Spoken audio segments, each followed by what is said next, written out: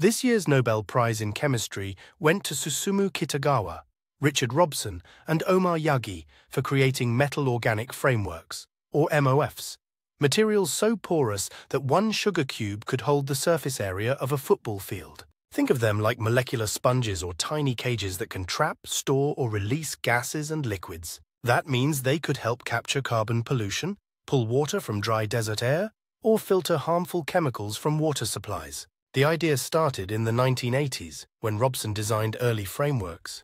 Kitagawa made them stable, and Yaghi perfected their precision. Together, their work opened a new world of chemistry, one that's invisible to the eye but may help fight climate change and make clean water more available.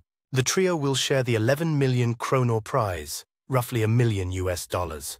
The Royal Swedish Academy said their discovery shows how chemistry can be both beautiful and useful, a rare combination of science and magic at the molecular level.